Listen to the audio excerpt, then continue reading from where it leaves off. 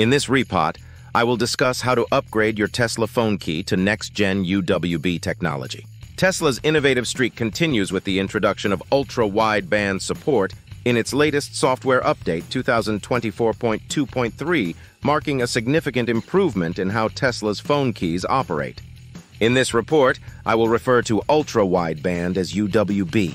This wireless protocol, akin yet superior to Bluetooth, promises to revolutionize the interaction between Tesla vehicles and their owners' smartphones, albeit with the caveat that only the most recent models equipped with the necessary hardware will benefit from this advancement. Understanding ultra-wideband. Ultra-wideband technology operates on short-range radio waves, similar to Bluetooth, but stands out by consuming less energy and offering high-precision location tracking capabilities. These features make ultra-wideband an ideal choice for accurately locating devices and measuring the distance between them with unprecedented precision, offering advantages over Bluetooth in terms of location accuracy. The evolution of Tesla phone keys.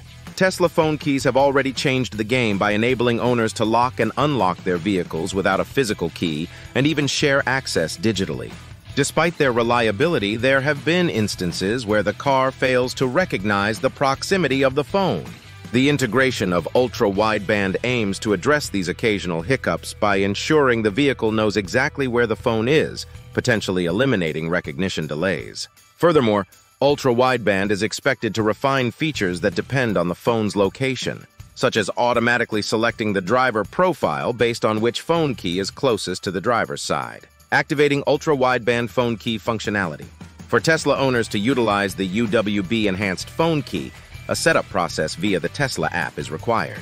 Users will be guided to upgrade your phone key and must allow the app access to UWB capabilities. For iPhone users, this involves enabling nearby interactions within the iPhone settings. Supported vehicles and phones. Given the hardware dependency of UWB, only Tesla's latest models, such as the new Model 3 and the 2023 Model X, are compatible with this feature.